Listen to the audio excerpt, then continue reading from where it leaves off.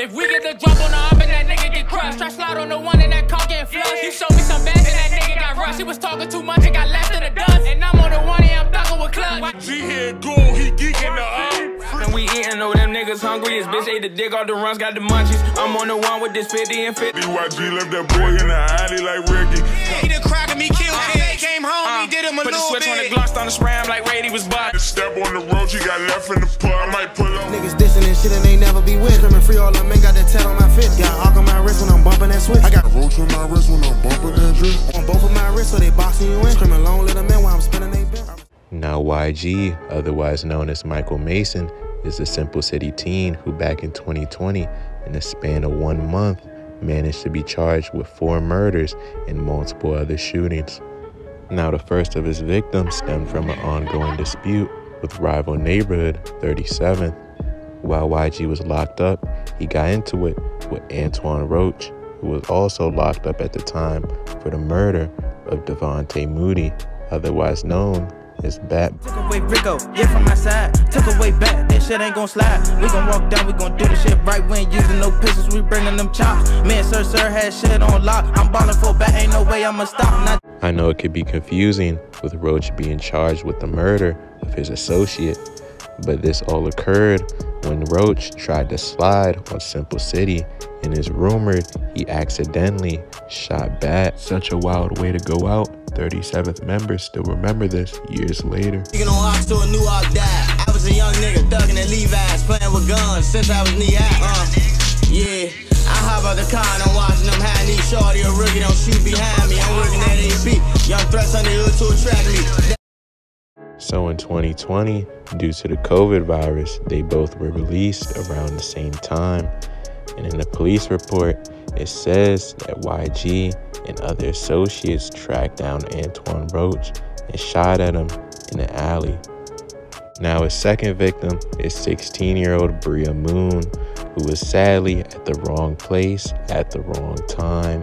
Rumor says that a 37th member was in the car, and when YG slid and tried to kill him, he hid behind Bria Moon and he somehow got away, but she sadly died. YG was charged with four murders, but when you look up his case right now, he's only being charged with two, which could only mean he snitched on the other two murders.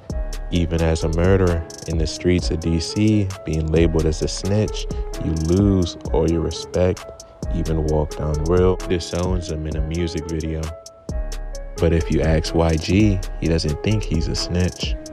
Yeah, Yeah, exactly. That's why it's good to set the record straight. yeah, I feel it like it was a whole right or wrong information day. I feel it though it was like like some information like about some talent shit or some shit. I want like first of all that shit don't even live here. It's paperwork and shit to speak for that shit, you know what I'm saying? Yeah. I'm thugging with clutch. YG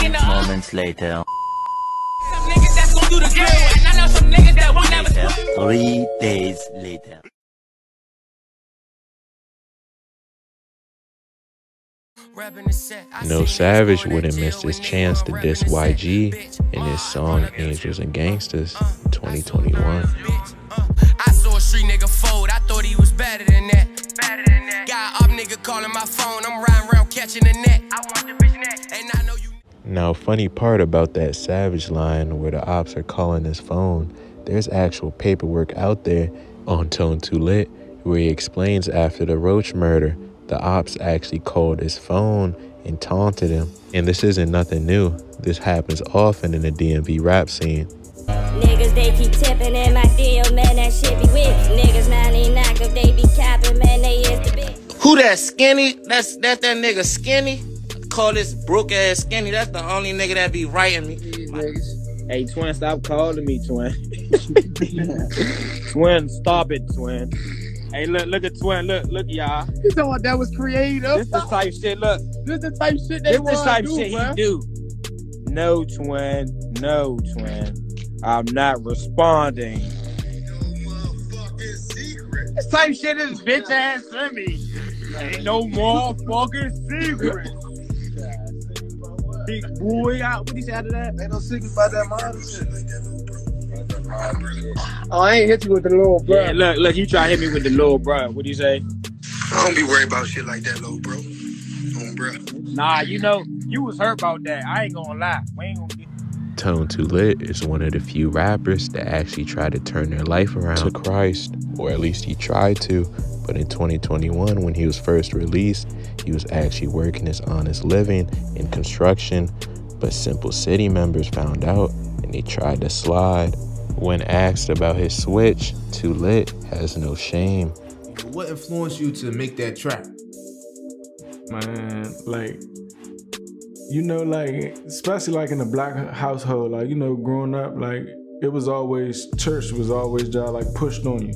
You know, you like you was there, you had to go. Somehow, like you got branched away, but like I was never gone too far. Like I got a relationship with God. With the help of the Lord, overcame every obstacle. Juvenile delinquent, mama said I was a handful. Had to serve you with a fork, cause we ain't had no spoons. Even Paul knew that money was the root of all evil. The goal to make it out, I'm trying to put on for my people.